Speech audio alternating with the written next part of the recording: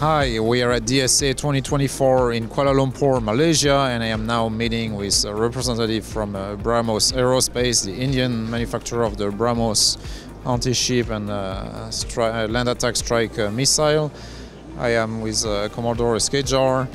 Uh, he's the chief manager for naval programs at BrahMos Aerospace. Commodore, good morning. Good morning. Thank you. It's such a pleasure to talk to you. Thank you for uh, welcoming me. Uh, I just wanted to uh, get a brief uh, update and refresher on uh, the BrahMos uh, missile and system. First, can you please tell us what are the capabilities of that missile system? So, we are looking at a missile which travels one kilometer in a second and weighs about three tons. So, the impact at the target is that much huge because the kinetic energy at the impact is very, very high. But the strength of this missile is that one is it comes in sealed canister. So it is virtually maintenance free for its initial life of 10 years. Second is that the same missile can be used in a truck for the army or the coastal uh, defense system, and the same missile can be used on the naval ships, and a little variant for the Air Force in the aircrafts. And these missiles have been one of the frontline uh, attack capabilities of Indian Army, Navy, and Air Force for uh, about 15 to 20 years now.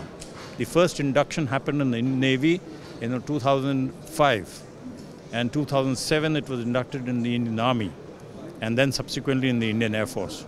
So this is a company which is about 25 years old. We are a joint venture company between DRDO of India and NPOM of Russia. But the company is a private limited which is registered in India and holds the complete IPR of the product that we supply. Uh, Commodore, uh, regarding uh, export, uh, I believe you signed recently a deal with uh, the Philippines uh, MOD. Can, can you share the, with us the status of that deal?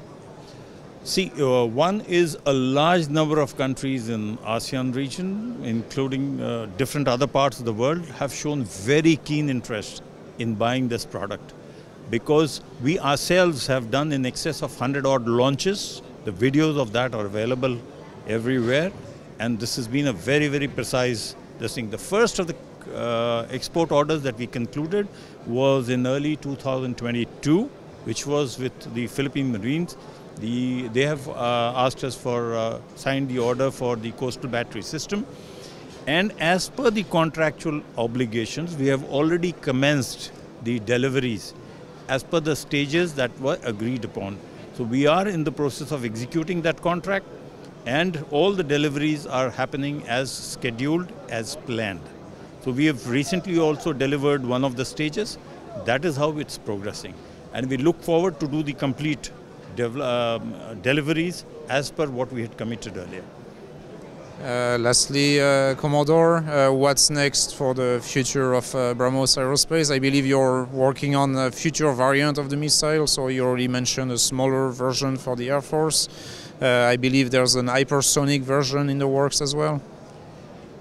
At BrahMos, there are two things that we always focus on. The product itself, because of the technology cycle in the military industrial complex, we always innovate to see to it that the product always fights uh, so that it does not get outdated. So it's always current technology that is given to the customer.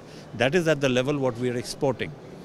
What we are also doing simultaneously in the design board is we are working on various variants with ranges, with uh, other capabilities of the missile, looking at the future warfare, the requirements that are going to come as a market in the military industrial complex, and there are many options we are working with.